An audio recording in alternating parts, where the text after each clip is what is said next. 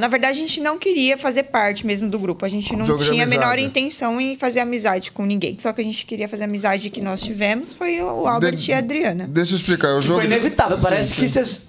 Não, o Santo Até bateu. no começo nem queriam tanto nem Mas, com mas, mas o Santo bateu. Mas o, o que eu falo de amizade é assim: por causa de cascadura de outros realities, eu, como era a primeira vez da minha esposa, eu sempre falei assim. Pra você não ter decepções com as pessoas, aqui é um jogo. Você vai fazer amizade com aquelas pessoas, aquelas pessoas podem te, te trair, dar uma facada pelas costas.